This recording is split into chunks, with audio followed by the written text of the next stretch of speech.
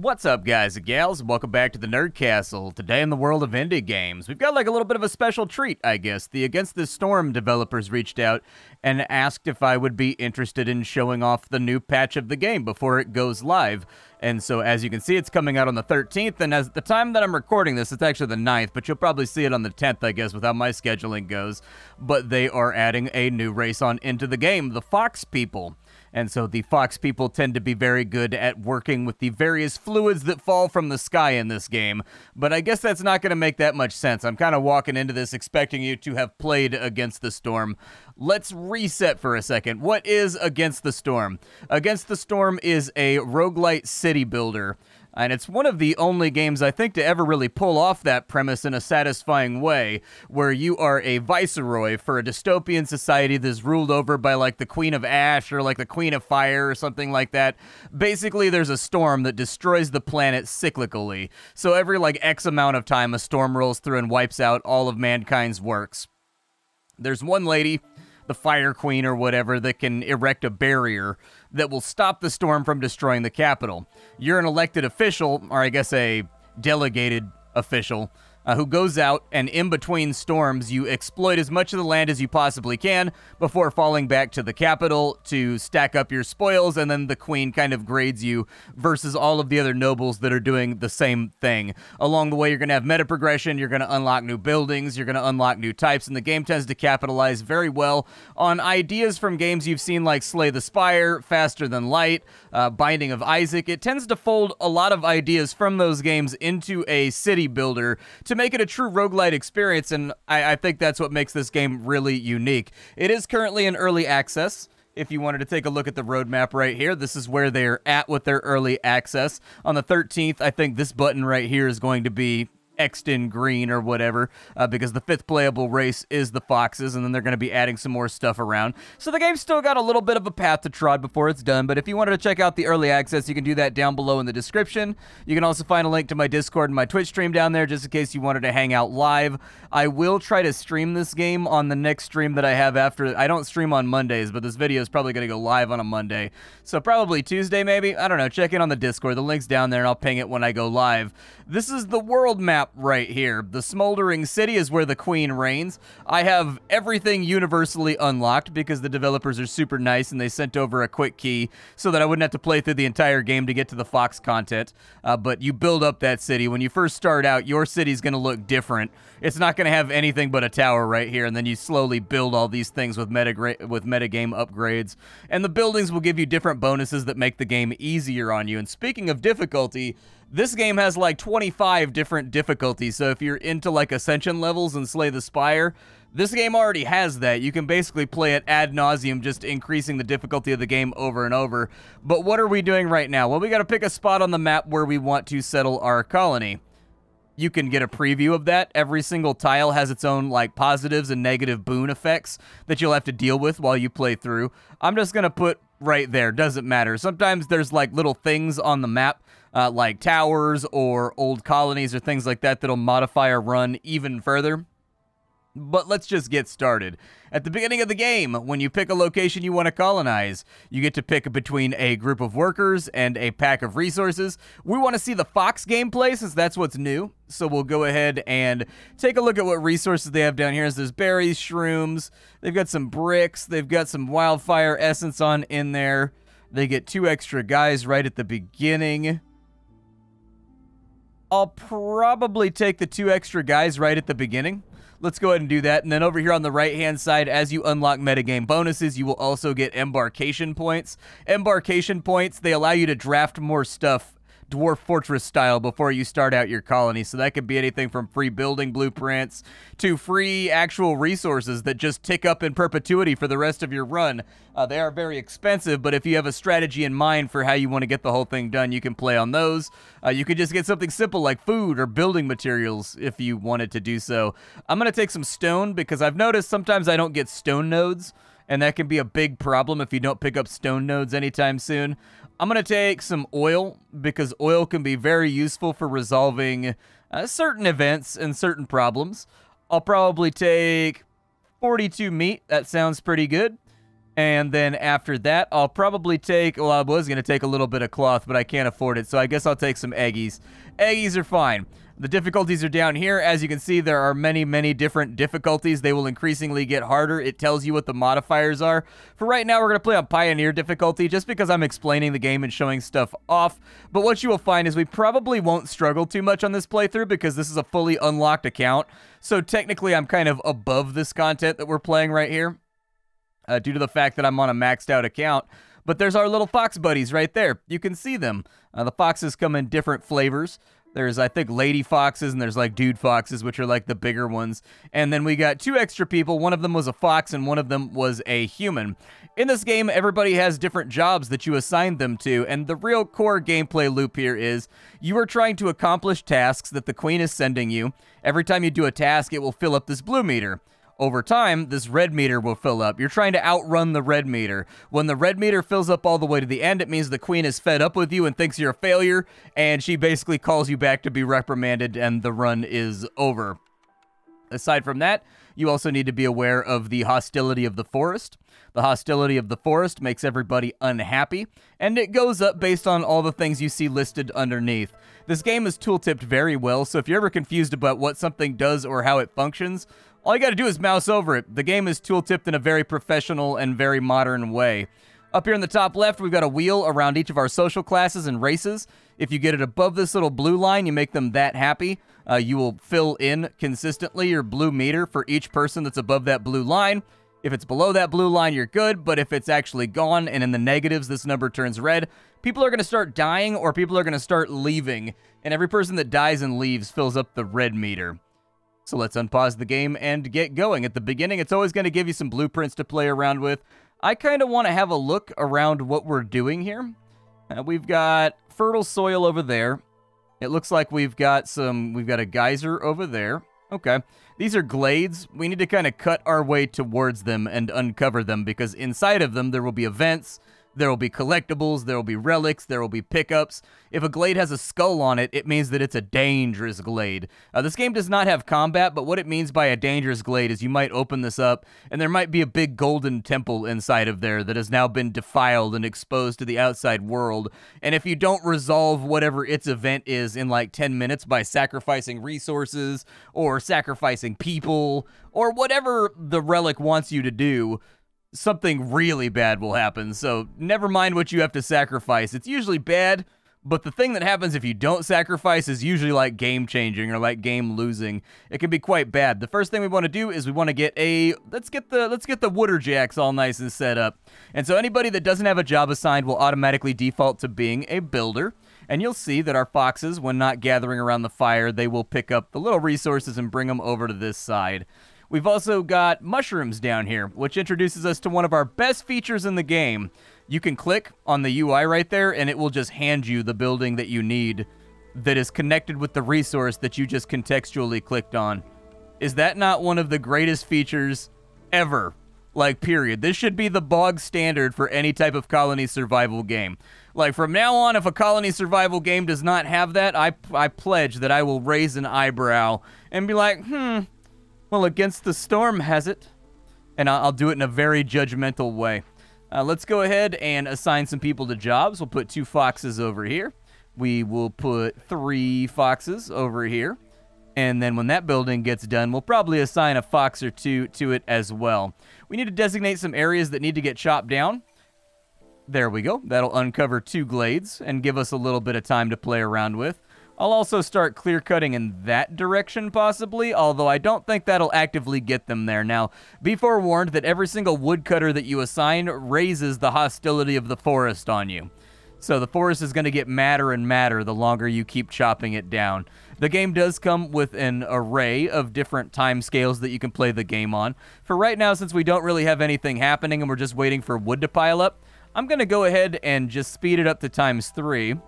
But now I'm going to assign two foxes to gather up that flax right there so that we have some fiber in escrow ready to go to keep us nice and regular. Uh, events are going to happen every year. We've got to choose a cornerstone.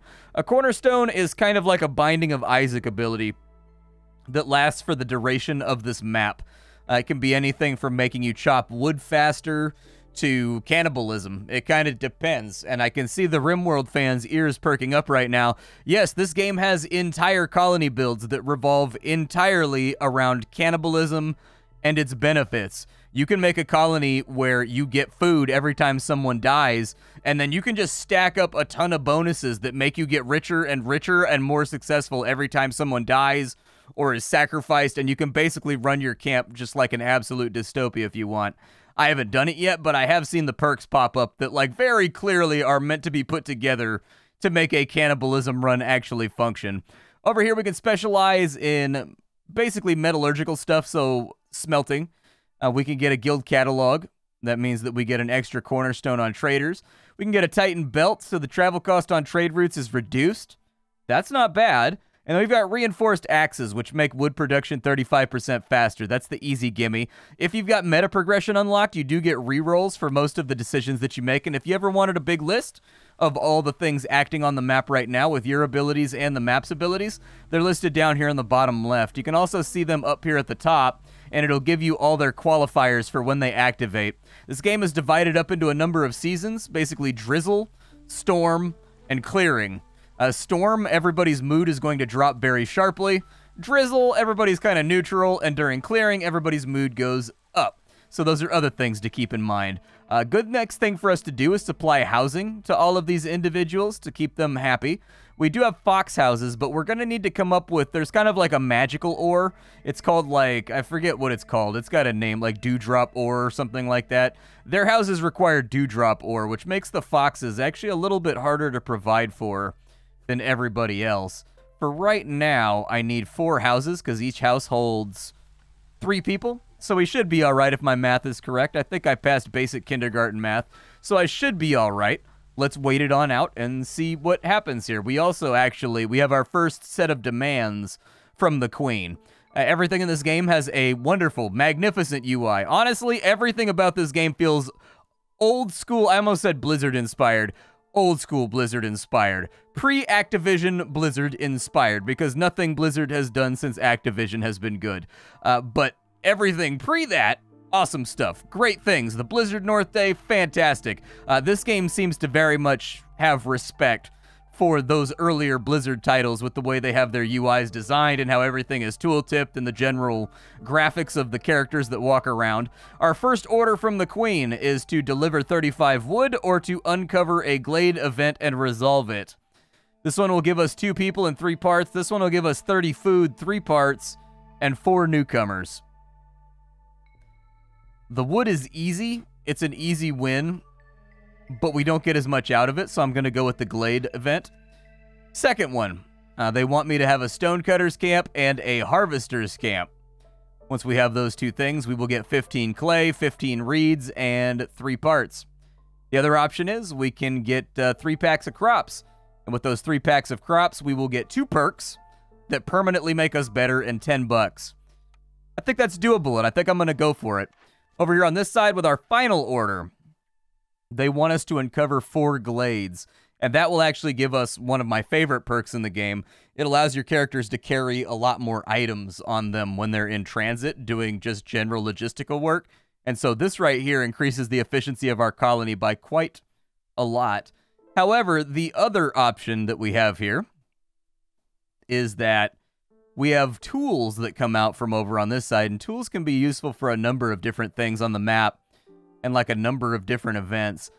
I am going to risk it and not take the tool delivery, even though, as someone who has like 20 hours or so in this game in preparation for this video, I have learned to stack up 20 to 30 tools early on. I'm breaking one of my fundamental rules right now just to make this more interesting because we've kind of like out leveled this content. And so we will we will see what happens. Now the foxes, what do they do? What are they good at?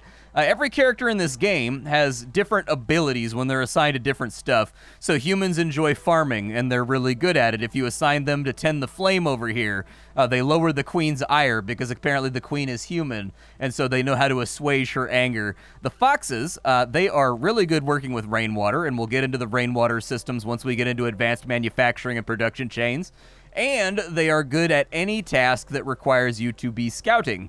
So there you go. All of our goals are going to be listed over here on the right. We've opened up one glade. I'm actually going to keep them focused on opening up this glade over here and widening the mouth a bit so that I can effectively use it as a resource.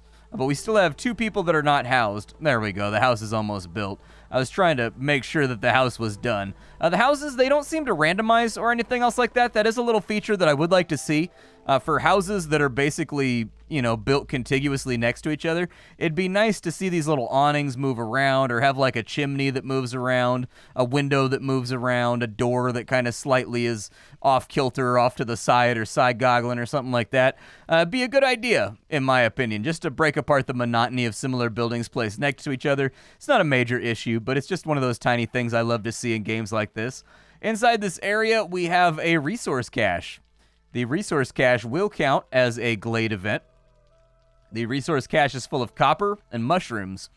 Or we can use stone and we can send it back to the capital to get $10 and a little bit of Queen's Grace, which will fill up our blue meter. I'm going to let it sit there for a minute because I don't know exactly what I want to do with it. We're kind of out of people right now to do any activities with. We've got everybody assigned to jobs already, so we're going to want to wait it out until we get our first batch of immigrants very shortly, which should be pretty soon, I think. We should get immigrants pretty soon.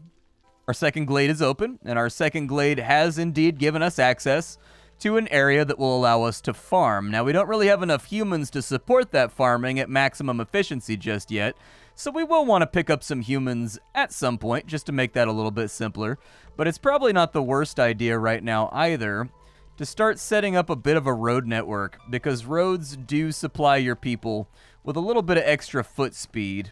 And while these little dirt paths don't matter that much, they do give us 5%, and 5% across tiles back to back to back will add up. Looks like they're chopping down some trees over there. Good.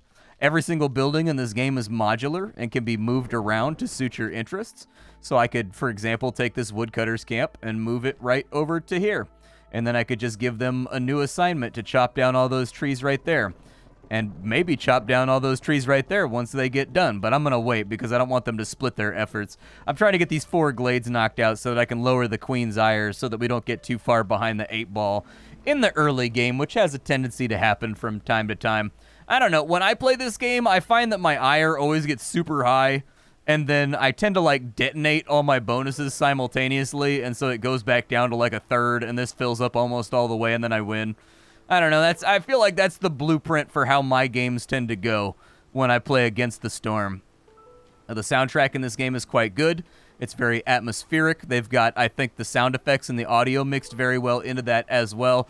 Uh, they've picked a lot of sounds in the overall soundscape of the game that sort of imply that feeling that you get on like a very rainy, very windy, very crappy day where you have to stay inside and kind of drink your hot cocoa. It's almost a cozy game, in all honesty, because there is no real antagonism to this game.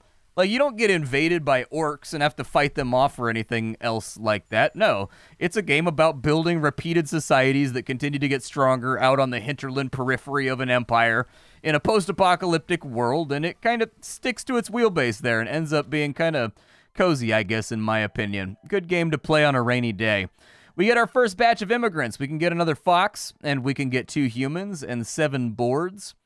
There's reasons in this game to have homogenous societies, and there are reasons not to have homogenous societies. Every group of people in this game has things that they want and they need inside these panels here.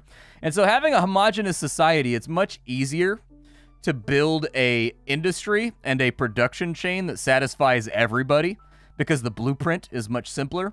However, if you have a society that is not homogenous, you have a lot more skill sets to draw from when it comes to your production and whatnot. And so it really kind of depends if you want to optimize towards making everybody happy or if you want to optimize towards producing as many goods as possible. That's really going to be your call when it comes to homogenous versus heterogeneous societies. Uh, we've got. I'm going to take the three beavers because beavers are basically uh, dwarves in this game. They're good at anything that has to do with exploitation. Uh, they're good at anything that has to do with manufacturing, from what I recall. Yeah, they are gifted woodworkers and they enjoy anything that's tagged with engineering. And you can kind of see the tags right here inside each building so you can figure out who's good at what. Uh, they have now chopped down both of those glades, which means we're done with our exploration. Good. So as you can see, the red meter has gone down, blue meter has gone up. Every time we hit one of these little uh, hash marks, or whatever you want to call them, one of these little meniscuses, uh, you get to draft a new building. I don't draft my buildings at the beginning of the game because I don't know what I'm going to need at the beginning of the game because I haven't opened up any glades and so I haven't really gotten any ideas or any inklings as to what type of industry I want to run yet. Over here we have a large stormbird, oh no, a small stormbird nest. We got some clay deposits. Uh, we've got some sea marrow over here, which is basically, uh, it's oil. That's all you need to know, and oil is very useful in this game. Unfortunately, I actually kind of have refined oils already, don't I? Yeah. So we've got crude oil and refined oil. Okay, well, the next thing I want to put up is we'll put up a stonecutters camp because we've got multiple things that can be exploited by the stonecutters camp. So we'll put it over here on the sea marrow first because the sea marrow tends to be really useful for resolving random events on the map. Uh, it tends to be a constituent part of, of fixing problems. And so having an open line to it and like a nice little stack of it feels okay to me. This is not an exploitation camp, so it doesn't really matter who we put in here. I'll put two foxes on it since I have a lot of foxes and not a lot of everything else. They're going all the way up there to harvest that flax, but we should have a really nice supply of flax by the time we get done with this. I'm going to move that up to there, and then we'll just have that only road run all the way up to that side. Very nice. And they're continuing to chop down trees we are going to want to focus on getting this glade open right here, as well as continuing to stack up as much wood as we can possibly get. Because when things start to go wrong, uh, you can fix everybody's mood and you can fix the anger of the forest by going in here, and you can choose a resource to sacrifice at a much more ridiculous rate in order to make the forest less angry at you. You're basically making sacrifices to the spirit of the forest right here on that ceremonial flame. We have an herbalist camp on this side. We could technically move it on over to here to go get those mushy mushes. Now that the mushrooms are all good to go, that'll supply us with food. All of your resources can be found on these five categorical tabs at the top. You just click on them and they'll unfold. I'm trying to get people ready to play this game by the time they finish off my video. I don't know how many people have not played this yet because it seems to be quite successful on Steam. But somebody has to have not played it, and maybe the way that I talk about the game or I show you how to play it might help out and cause them to lose less colonies in the beginning, unlike me. We'll drop a house in right there. I'll probably actually squoosh that house in right there, just to make it look a little bit nicer over on this side. And as soon as we get done with this little clearing, we'll move them over to here, and we'll knock out that little strip, which this little triangle right here should give us access to three more glades. This is kind of a weird map because all of our dangerous glades are pretty far out. So it's going to take us some time to get there. Let's think about, do we have any big resources yet? So there are things that I think I might want. A lumber mill is one of them. So lumber mill is an easy pick. So I think I'll take that. We could also take the carpenter, and that would give us the same output as the, the lumber mill, just with worse efficiency. But it would give us access to making our own tools, which means that if we find copper smelting around, we could manufacture our own tools, which is definitely a thing that we're lacking right now. I think I'll probably go for the lumber mill, though, just for the maximum efficiency production.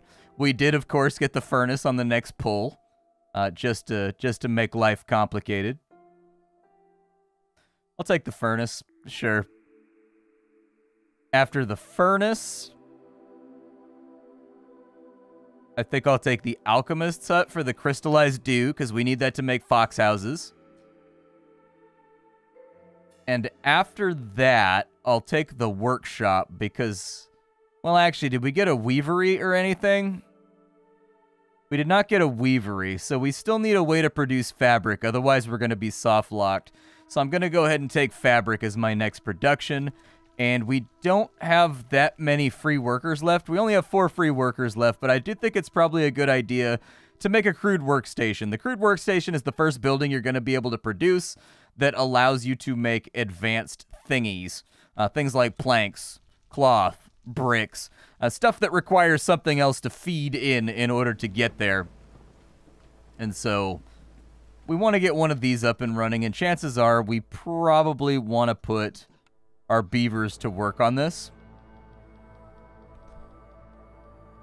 I'll have them produce everything for now, but once we've got a nice little stockpile, you'll notice that every building, they seem to be making similar things.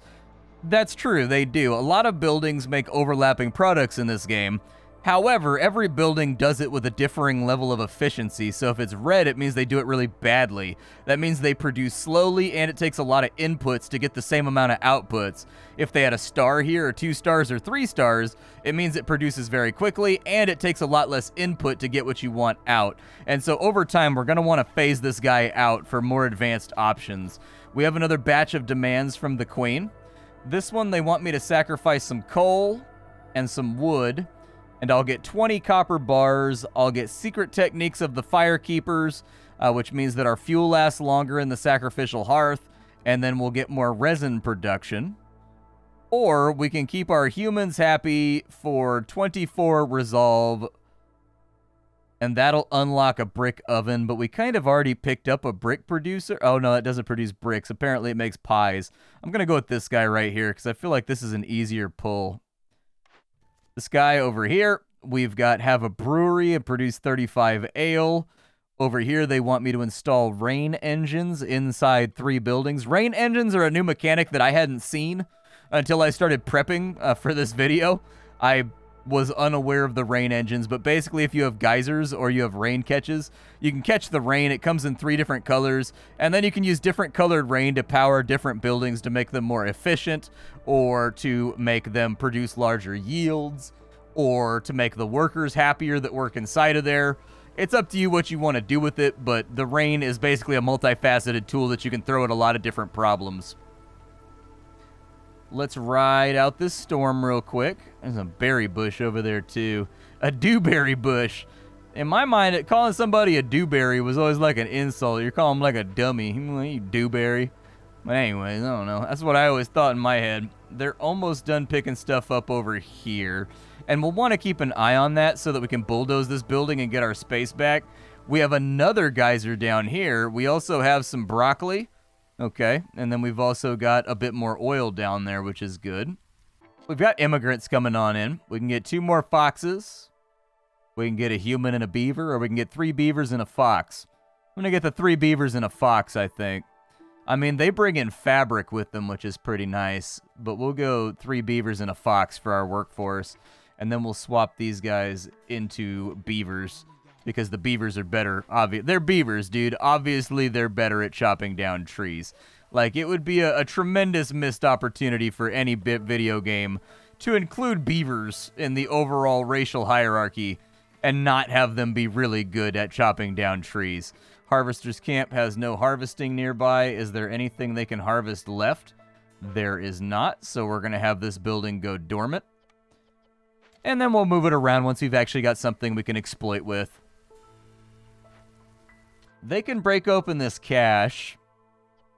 Food is looking pretty solid. How much copper do I have? No copper. I think I'm going to break it open for the copper. So we'll assign a couple people to run on over here and break that open for the copper. Because I think I am going to have to start producing my own tools at some point. It doesn't seem like they're going to be giving them to me. We also need to find a coal mine before too long. Either that or a charcoal kiln. Do I have a charcoal kiln? I don't know if I picked up the kiln or not. I tend to forget what I was working on in this game. Now, we have a furnace, so that's pretty cool. It'll produce copper bars, bricks, and pie, strangely enough. Alchemist Hut will give us the crystallized dew that we need. Crystallized dew requires shrimp, resin, and stone, and it looks like it also needs a rain catch for stormwater to work properly. So what we're going to have to do there is, do I have the rain catch? I do have geyser pumps, and I do have rain catches. Good to know. We've got a new cornerstone as well that we can pick up. I think we'll probably go... I don't like any of these, so I'm going to re-roll them. None of those are helpful to what we're doing right now. This one right here gives us resolve and fills up their meters whenever we do a trade route. That feels solid to me. And in fact, that reminds me, a trading post. Nobody has to man this, and we just get free caravans that come through that we can trade with, and we can get rid of some of the things we have an excess of uh, throughout our little adventures. So it might not be a bad idea to get a trade post up and running early. Something that I always tell myself I'm going to do, and then I always forget to do. Gain a villager whenever you get a glade. You get three oil for every flower. Every five trade routes, you get 10 bucks. An artifact infused with the power of the holy flame. Hostility from your woodcutters is decreased. Let's do that because we're almost at level 1, and I want to keep that down about as far as possible. Our first trader is here. What do we want to do with this first trader? Well, we probably want to sell him some sea marrow because we have hundreds of it, so we'll probably give him like 40 sea marrow maybe? Yeah, that'll be alright. We don't need more than that. We've got a lot of fibers, but I don't want to let those go just yet. What can I trade into from here? Tools. That's exactly what I wanted to trade into. Let me let me let me see what I can do. Honestly, might be worth it since we have another exploitable pool here to sell all of that. Cuz we're going to get more anyways. So, 15 tools solves problems right this second. So we'll go ahead and knock that out. We've completed a glade clearing event, which swaps that over. And on our next batch of things to get done, they're still over there getting mushies. These guys need to be moved over to here so that they can mine that marrow. And then we probably want to get a rain catch up and going. So let's do the rain catch. Put that in right there. We'll assign some foxes to work at it. We do have a lot of homeless people at the moment, too. So I should probably get on top of that. It looks like we need three more houses.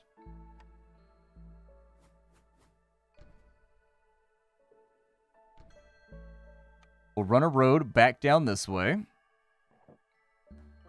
Just to keep things nice and clear. We'll try to run a road right there, too just to make them, because they do have to ferry stuff from these individual production points back to a centralized location. So having the little roads to increase their speed a tiny bit probably won't be the worst plan. I have 90 stone, which means technically I could upgrade these to paved roads and give them a 15% increase. Might be nice. We also have some more Queenie demands. So she wants us to have 16 farm fields and to produce packs of crops. Open two caches, but we have to open two caches in 10 minutes. Do I have two caches to open right now in that 10 minutes?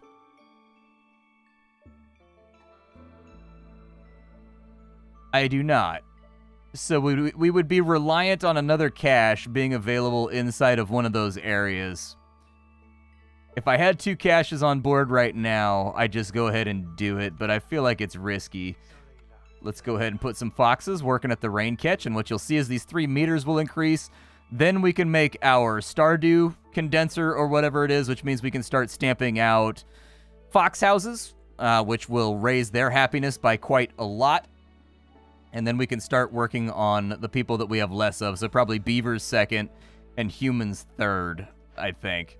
Over here, we can send that back, or we can get a chest of ancient tablets. That's not a very good yield from that little event right there. That's kind of a bummer. Uh, no, I won't unpause. It's forcing me to choose something right here. I will probably say, let's call it eight trade routes. I think eight trade routes is doable. And then over here, that wants me to have 10 humans and eight raincoats. Or we can get 16 decorations in five minutes and that will give us better beer production. It'll give us six wildfire essence, which is what you use to build more sacrificial fires. Okay, or we can get more beers over here and scrolls. All of these are kind of rough, but the decorations are probably doable right now. So I needed eight blue decorations. And then I needed, are those Harmony? Those are a little bit more expensive, but we have the stuff on hand, I think, to do most of them. So I need two big gardens, and I would actually prefer for these gardens not to be inside of our building space. I don't want them to use up the orange area, if I can help it. Actually, I think they might have to be inside the orange area. Never played around with it, but I would assume they need to be inside the orange area. It would be odd if they didn't. Let's go ahead and stamp out two of those real quick. And that'll give us half of our decorations taken care of. And then we needed eight for harmony. And I can decorate a little bit.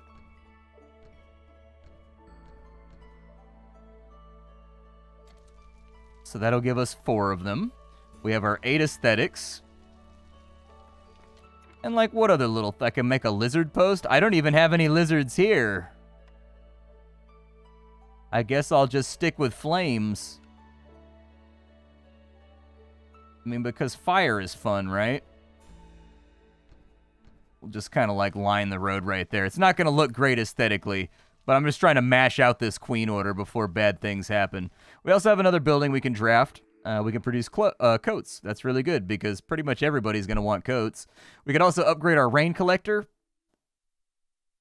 I'll probably just go with coats because coats should be pretty much an easy win for both the beavers and the humans. The foxes apparently don't like it, but that's okay.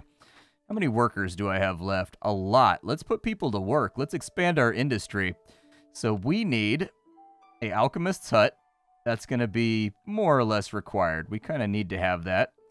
I'll go ahead and put it right here. And inside the alchemist's hut, I'm not really too worried about tea. Not too worried about wine either. I actually just kind of want the... I kind of just want the crystallized dew so that I can start upgrading housing.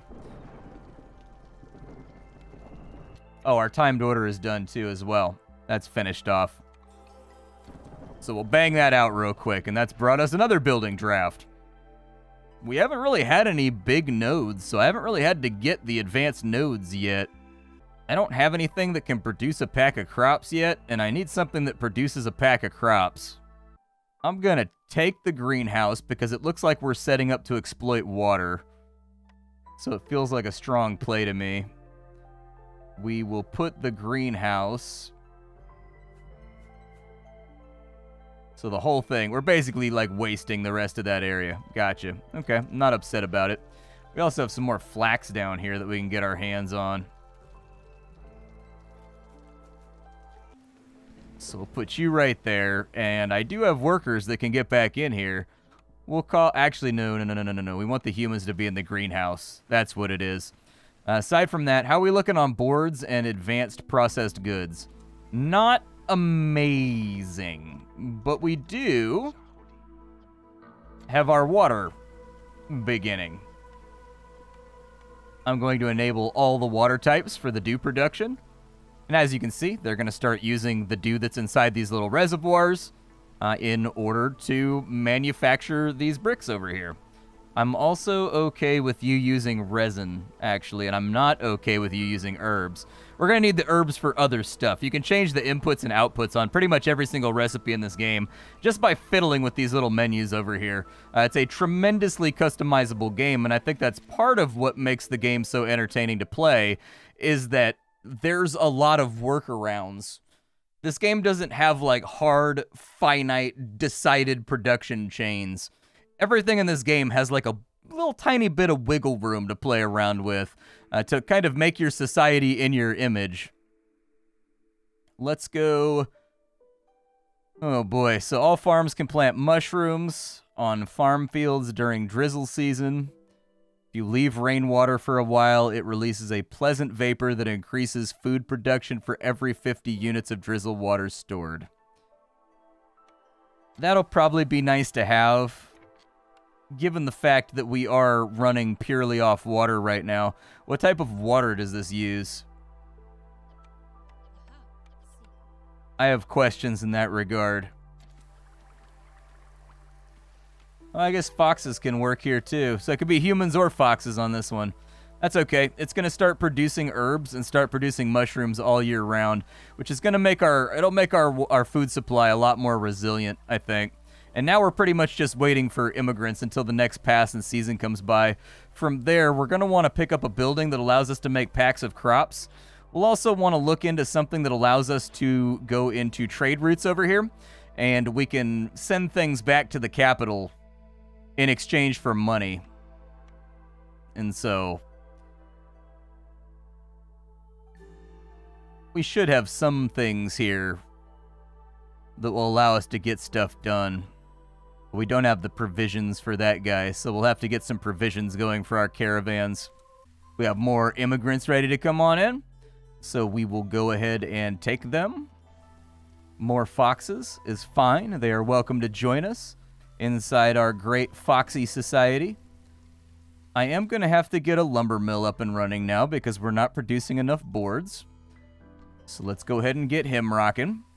And then it probably wouldn't be the worst idea to also get a workshop up and running, in all honesty. I feel like both of those are pretty strong economic plays since the workshop is just a better version of this workstation right here, which means the second that it's done, we can bulldoze this guy and we'll get a lot more effective at producing uh, second tier goods, basically. So this guy right here, we're going to go ahead and bulldoze him. There we go. And now we've got the better building. We'll throw a couple of beavers in there. And you guys are welcome to start mashing out everything you can get your hands on. I will not stop you. So if you can start, as you can see, the efficiency of this is much better. It only takes five logs to create two planks, and it should go, this little production should be faster. Should be all right. Uh, Trader is here. Old Fart Fluff. Oh, Farloof. Okay. What would you like to buy, Old Farloof? What do I need right now? I think that boards and shoring up some of our T1 goodies, or our T2 goodies is a strong idea. So we'll pick up like 10 bricks, We'll pick up 10 of each. There we go. And from those 10, we can sell him some of these bad boys over here.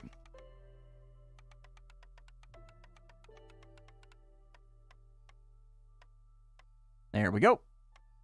All ready to rock. We'll go ahead and trade that on off. And if we had a little bit of extra money, we could buy some things down here, but I don't really see the point right now. I think we're probably good to go. Let's not get too crazy with the dispensation of things that might be useful to us one day.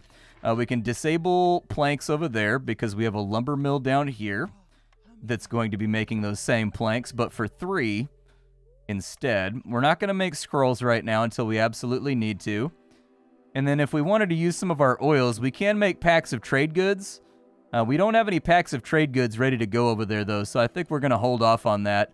And then we needed to produce provisions. Might not be a bad idea to get some pumps going, too. Yeah, let's get some pumps going for at least blue and green flavor water. That'll help out a bit. How are we doing on that production of you guys producing over here? I don't see anything inside of storage. I'm beginning to worry. There it is, 22 of them. Good. Let's start building some fox houses, shall we? Uh, with the fox houses, oh, we don't have enough boards. Okay, we got to wait for the lumber mill to spin into dope production. We're also to use pipes to connect this guy right here uh, to water usage. We're to put a fox in there, a fox in there, a fox in there, and a fox in there, and we should have a really good supply of green water and blue water now, I think. Should be anyways. And now that we've got this hooked up to a water supply, what we can do is we can we can basically set an intended level of where we want this to function at. Now, 50% production speed is good enough for me, but you can push it up pretty high if you really want to. But it's your call on how you want to run that. If you notice that you're constantly running out of water and things, it may be time to adjust stuff, but what do we have here? We've got another couple Queenie wants. Uh, she wants me to have 10 humans and give them all raincoats. I can probably do that, but we're kind of far off on 10 humans, which kind of worries me. This one is fulfill their leisure need for 120 seconds. That means we're going to have to get into some kind of beer production here, but I don't really have a farmscape for it, so I think we gamble on the humans. You don't really have to do all these in order to be successful. 30 roads is doable right now. I'll do that right this second. That's an easy pick. Let's go ahead and we'll run a road back over to here. We'll run a road down to there. And that should probably be about 30 roads, I think. They finished that off down there. Oh, and look at that. We've got the uh, the two things that we can now go through.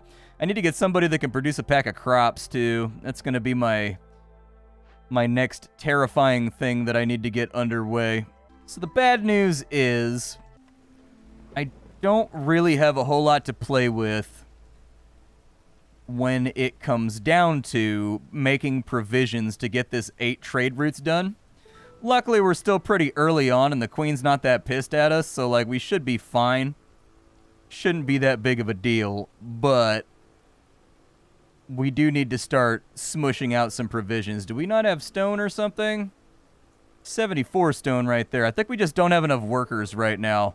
Nobody's really mashing out houses. Let's go ahead and we'll add in a couple of fox houses here. Uh, nice detail about this game. Every single race has their own house with its own appearance. For foxes, we need seven of these, so that's a pretty big build order. What I'll probably do is get rid of some of these decorations just to make space and make my life a little bit easier because we don't lose credit for the quest because we did that. And then we'll probably smush out a couple more fox houses over here.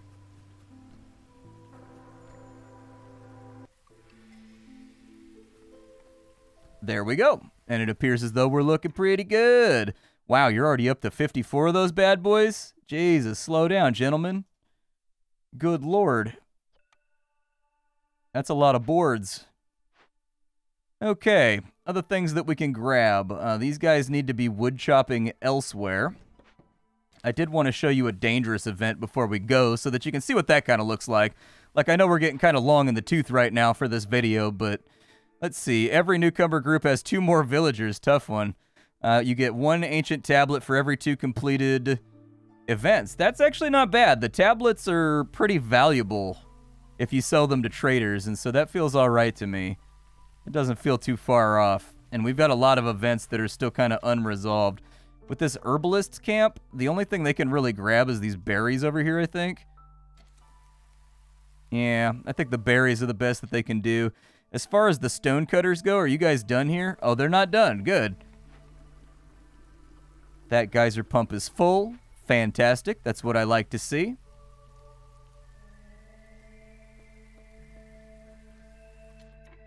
We still need a few more paved roads. So we'll go ahead and pave it on up down that way.